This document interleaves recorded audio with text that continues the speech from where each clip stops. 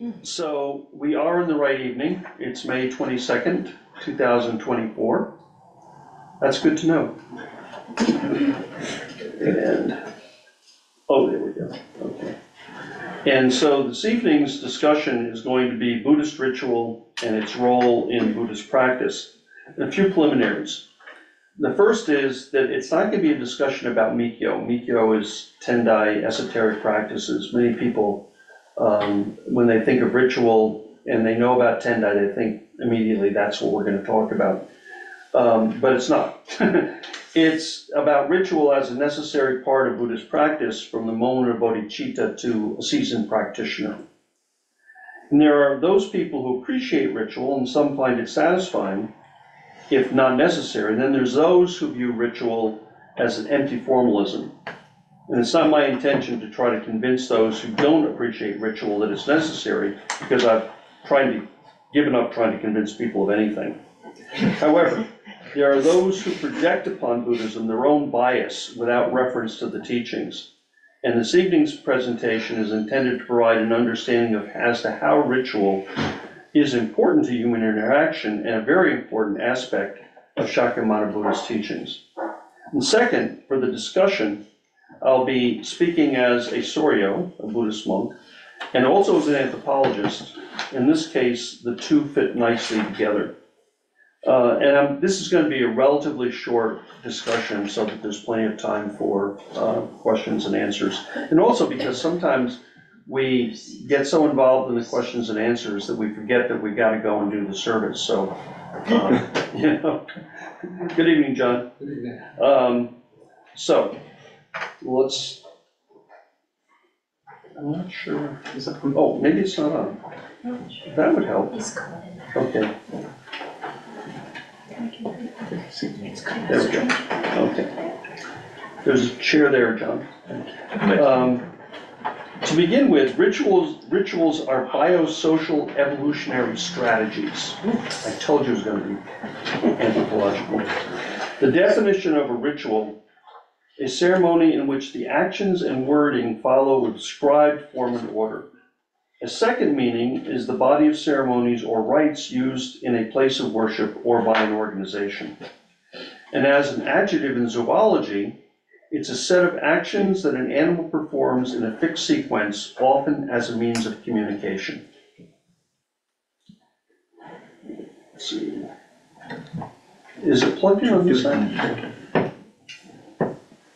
Hmm, there we go. Uh, Too many. there we go. Um, Apes, dolphins, elephants, crows, and many other stars of the animal kingdom appear to lead heavily ritualized lives. And this seems almost paradoxical. Why would such intelligent creatures spend so much time and energy on apparently pointless, this from an evolutionary perspective, from a pointless activity when they could be finding more straightforward solutions to their problem? But this is actually the power of ritual. It's a mental tool that allows its users to achieve a desirable outcome through obscure means. It is the reason that intelligent organisms engage in these seemingly wasteful behaviors, not simply because they can, cannot help it, but because they can afford it. And this particular book by Xygalatas is uh, really, uh, I found it fascinating, so I, I'm using his, his uh, teachings in this. In other words, evolutionary theor- theorists see ritual as a fundamental activity in an evolutionary process of many animal genera. One of the things I find interesting also is just in the last ten years, zoologists have begun to look at animal behavior in very different ways than they looked at it when I was an undergraduate taking, you know, uh, comparative uh, ethology courses.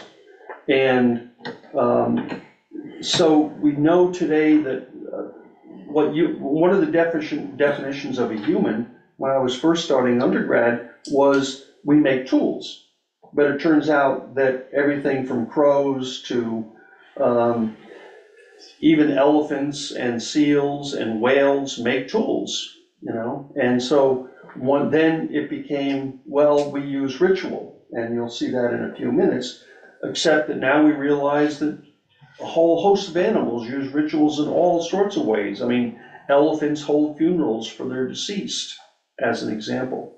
So rituals um, are really common. uh, the- In other words, the assumption here is if all these critters are doing it, it has to have an evolutionary function. It has to have been positive from an evolutionary perspective. Otherwise, one or two would do it, but not everybody, so to speak. And for social and biological anthropologists, it is thus possible to view ritual as a way of describing humans. And my findings as convergent discoveries from a variety of scientific disciplines reveal the ritual is deeply rooted in evolutionary history. In fact, it is as ancient as our species itself, if not for good, and for good reason. Although ritual actions have no direct influence on the physical world, they can transform our inner world and play a decisive role in shaping our social world. And this is where it gets interesting from our perspective. While many animals use ritual, none uses it as extensively and compulsively as Homo sapiens. In fact, archaeologists often consider ritual to be one of the core defining features of behaviorally modern humans, contrasted to um, hominids from earlier periods. And it's related to the capacity for symbolic thought. The performance of collective ceremonies allowed people to set their everyday worries aside and be transported, albeit temporarily, to a different state. And as ritual must always adhere to a rigid structure, participation in collective ceremonies established the first social conventions for early humans. By coming together to enact their ceremonies, practitioners ceased to be an assortment of individuals and became a community with shared norms, rules, and values. And this is why anthropologist Roy Rappaport declared ritual to be human's basic social act. It is how society itself comes into being, and in fact, this may be in a literally, in a literal sense, historically true. By the way, Roy Rappaport, uh, is an anthropologist, I'm not sure that, that anybody would be reading Roy Rappaport in their um, social anthropology courses today. If you see something by the anthropologist Roy Rappaport, pick it up, read it. It may or may not be on point by virtue of what we know today as opposed to what we knew 50 years ago, but it's incredibly entertaining. So I highly recommend Roy Rappaport, if for no other reason than the fact you'll, you'll find it really fascinating.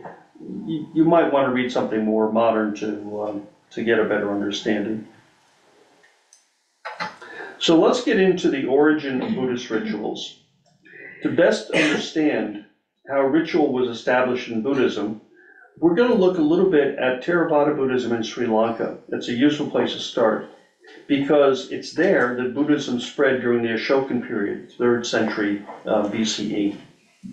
And according to Kariyawasam, the specific forms of ritual and ceremony in Sri Lankan popular Buddhism doubtlessly evolved over the centuries, and seems like this devotional approach to Dharma has its roots in lay Buddhist practice, even during the time of Buddha himself.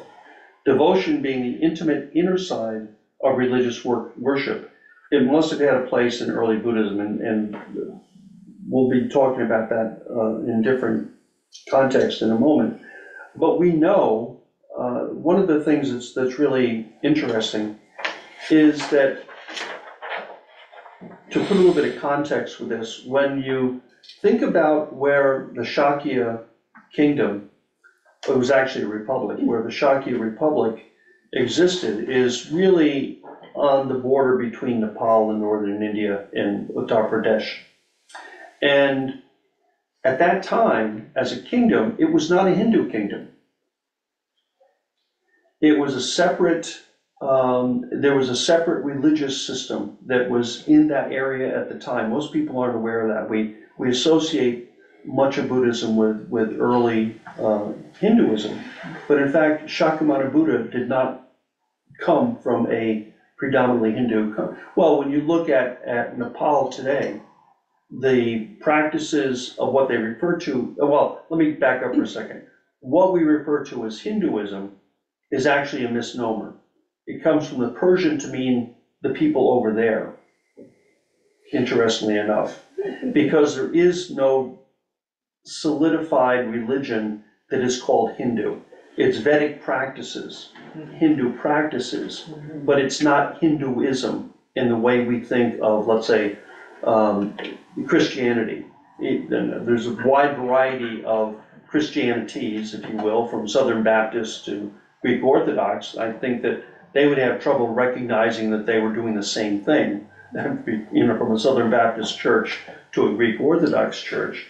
On the other hand, it is based upon a central figure of, of Jesus Christ. And so in that, they share a common root. Whereas Hinduism is highly localized. And it, and in fact, the caste system that was in the republic where Shakyamuni Buddha lived wasn't even the same caste system that was found in India. It was a much looser caste system than is, was found in India, and it was reified much later around the time of the Upanishads in India. So I'm just putting this into context, when we talk about the rituals, Shakyamuni Buddha would have been part of, as being a, one of the elites, their aristocrats within the culture. He would have been doing rituals just as part of his everyday life. And so, coming out of that, while it's often said that he eschewed all of Hinduism, that's sort of a broad gloss. He, because there were no Brahmins in his republic.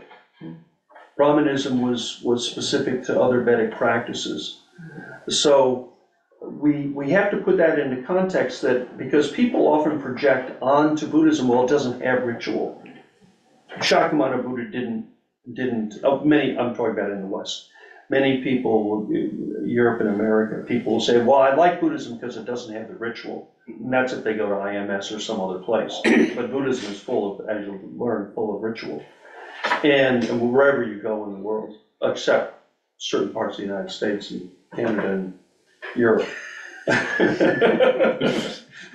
But, um, so, when we look at Sri Lanka, it's an, it is a kind of, um, looking in, in a way to the past, not to say that the Sinhalese customs haven't changed, the rituals haven't changed, have changed dramatically over the twenty-five hundred years approximately, that Buddhism has been there. On the other hand, what's interesting about this is that the Sinhalese Buddhism in Sri Lanka, the Buddhism there is much more oriented toward Hindu practices than you'll find in other parts of the, of, of the South Asian Buddhist uh, teachings. Although Thailand, I have to say, has an enormous number of, is, has a great affinity to many of the Vedic practices also.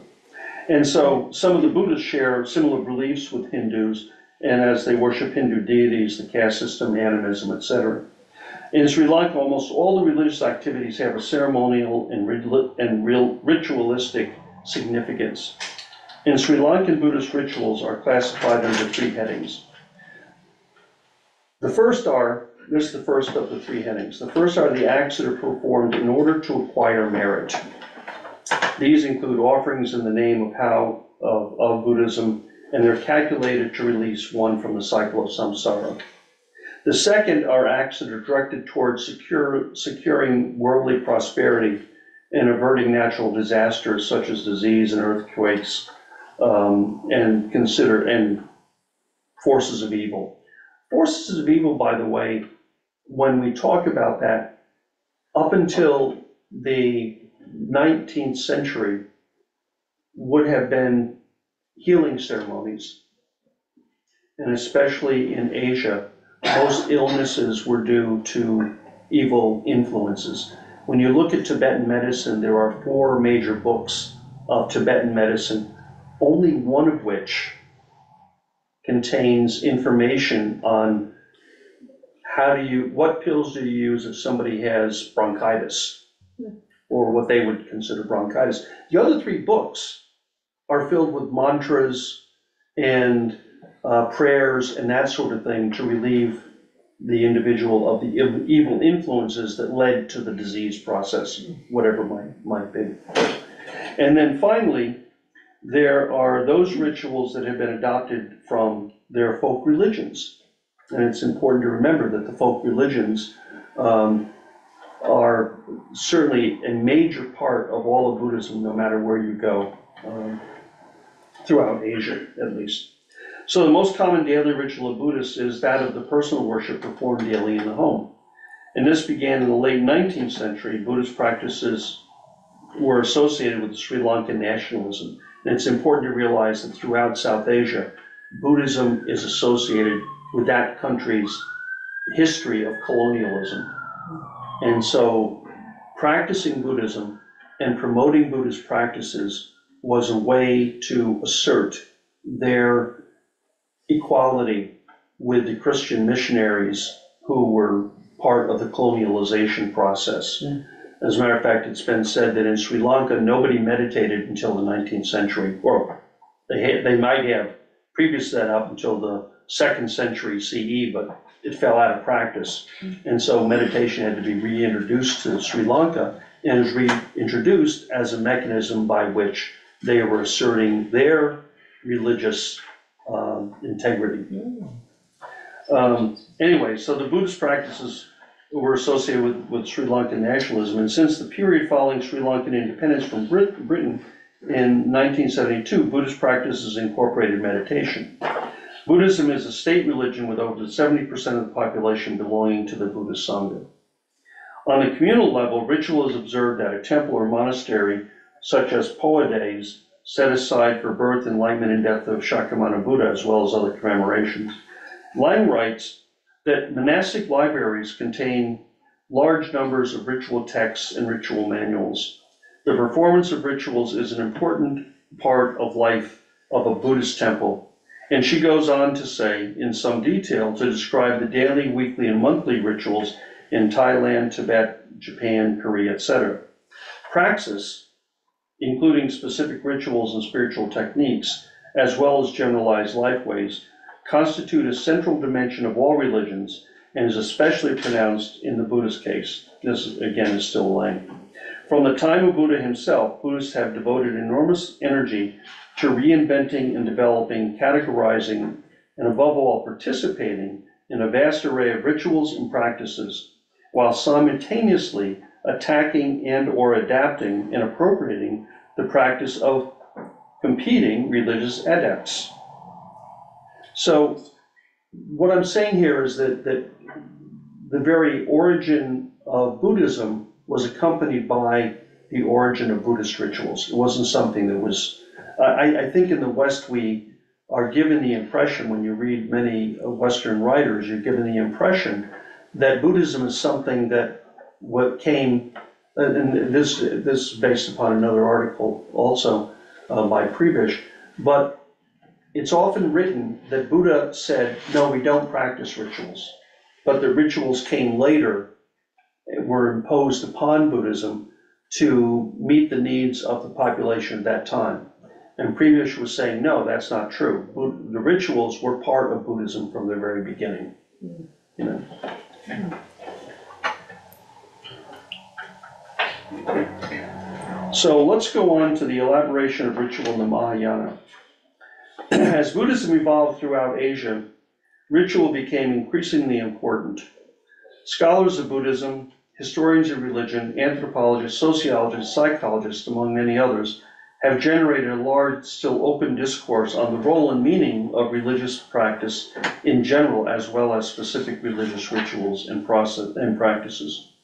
It's interesting that the Encyclopedia of Buddhism that was edited by Cohen and Akion and Prebish considers meditation itself as a ritual practice. Further, they break ritual into hmm. satori- soteriological pra- praxis, psychological perspectives, sociological perspectives, political perspectives, and aesthetic perspectives. The encyclopedia devotes one large section to the use of ritual in Buddhism. Hmm. In a concluding section, um, it's written, one important way to unlock the unique significance of whatever ritual or practice one confronts is to remember that it is necessarily situated in and therefore evidence of particular histories that coalesce to provide the context of its possibilities or existence. In tracing its roots, we discover not only what is traditional, common, and most deeply meaningful about it, but also how and why its performers have innovated in different historical circumstances. Hence, there are differences between Sri Lanka and Buddhism, uh, Sri Lankan Buddhism and Japanese Buddhisms, etc. Um, even when a ritual or practice is literally repeated from the past, changing external histories given different meanings in each generation, such the study of any particular ritual really is bottomless. Indeed, it is possible, even likely, that any single practice or ritual will have a vastly different meaning for different people in a single audience or even for a single individual at two different times. Philosophical study of Buddhism alone may leave one's capacity for ethical response untouched. Rigorous contemplative practices of Vipassana, Zen, higher Tendai, or Tibetan meditations are out of reach of many. And ritual forms have provided ways for Buddhists from all walks of life to become attuned to the same subtle dimension of body, speech, and mind that higher Buddhist philosophies and meditation engage. Rituals are used to memorialize the deceased shortly after death and at various times up to 50 years. Refuge ceremony is a ritual in which the person proclaims their adherence to Buddhist ideals and practices. Blessing ceremonies of various sorts connote the importance of Buddhism in people's lives. Daily rituals provide a framework for people to orient their lives in a constructive fashion and assist them in adhering to a set of constructive values.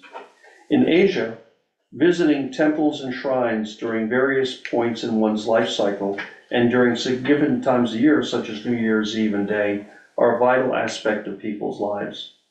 Offerings are commonly made as a form of devotion.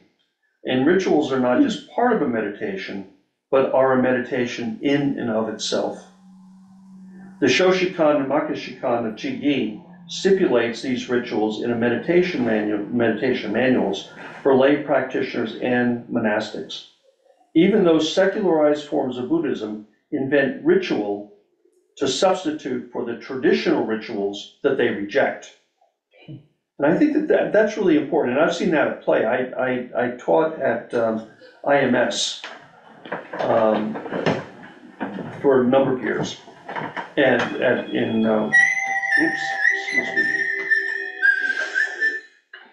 Um, What, when, the- that was, oh, I, I guess I stopped teaching there probably after Mu Soeng left there, because he would have me over there to teach sections on Chinese and, and, well, East Asian Buddhism in general, because IMS is all, um, West Asian oriented. Um, and, um, the thing that I, you know, I would go there and I would teach a session, we'd have lunch, and then I'd teach a session, uh, teach session in the morning, have lunch, teach a session in the afternoon, be on my way for the evening. And, but I would usually get there early enough to join them for a meditation in the morning before I taught the first class and everything. And I was really surprised at how they had invented this secular Buddhist meditation-oriented organization, had invented ritual to replace the ritual that they didn't want to follow. That's really what it came down to. I mean, they, they had a fair amount of ritual that went along with their, with their services. So ritual as integral to Buddhist practice. No dimension of human activity and culture was thought to be exempt from the impact of ritual. Ritual was understood to inform the human mind in every activity, from social engagement to private reflection. And here I'm paraphrasing Makransky. Contemporary Buddhist practices and thought tend to de-emphasize the ritualistic and devotional aspects of Buddhism to newly material resources and strategies for personal and social transformation, which can be related to higher Buddhist philosophy. While this is important, there is a danger the contemporary Buddhists by reinterpreting practices as a personal self-help and social service do so exclusively in modern material terms that they dilute rather than reinforce the beliefs and epistemological intuitions of Buddhism, losing touch with the time-tested means for persons to actually learn to embody an ultimate source of response that transcends the assumptions of the modern secular thought. Ritual in the individual practice assists in focus and continuity, spending time each day at one's Butsudan combined with meditation or not is an important way of tapping into our inner wisdom in order to meet the day's challenges. Ritual with a group, solidarity, a sense of inclusion is essential. If that were not so, Shakyamuni Buddha would not have included Sangha along with Buddha and Dharma. Anyone who has practiced by themselves only immediately notices the differences in practicing with others. A ritual practice with the Sangha into a collective consciousness that transcends the self. I told you this is gonna be short. So in conclusion, a ritual is the enactment of myth, and this is according to Joseph Campbell. And by participating in the ritual, you are participating in the myth. And since myth is a projection of the depth wisdom of the psyche, by participating in a ritual, participating in the myth, you are being, as it were, put in accord with that wisdom, which is the wisdom that is inherent within you some anyway, anyhow. Your consciousness is being reminded of the wisdom of your own life. And let me remind you that here, Joseph Campbell's use of myth is a narrative of reality that goes beyond the modern use of the historic. It's an experiential realization that tells an important story and is passed on to others. Religious ritual is a way of, re- of structuring time so that we, not employers, not the market or the media, are in control. Life needs its pauses, its chapter breaks, if the soul is to have space to breathe. That's according to Jonathan Sacks. If you have read Jonathan Sacks, you'll be, appreciate his, his works. This brief primer on Buddhist ritual is intended to provide a perspective on why it is important in our daily lives and our weekly gatherings. We have here some of the works that I used, though not all of them, on, on ritual. Um, The one that's by um, the last one there, Ritual How Seemingly Senseless Senseless Acts Make Life Worth Living, is one that I highly recommend, by the way, as a, as an overall uh, introduction to ritual that's occurring. You'll see Rappaport there, Ritual and Religion, the Making of Humanity. Um, The, Roy Rappaport, by the way, just to go back to, to Rappaport for a moment, um, did some incredible work on early Buddhism in his anthropology, looking at, at um, Japan, uh, looking at Japan, looking at India and the, the Indic continent at the time of Buddha. So that, that work is really worthwhile. That's not necessarily the one on, on ritual and religion. I can't remember the name of that particular work. But he did a fascinating study on looking at India um, at the time of Shakyamuni Buddha. That gives you some real insights into that. And now, we will go, I, I love this picture.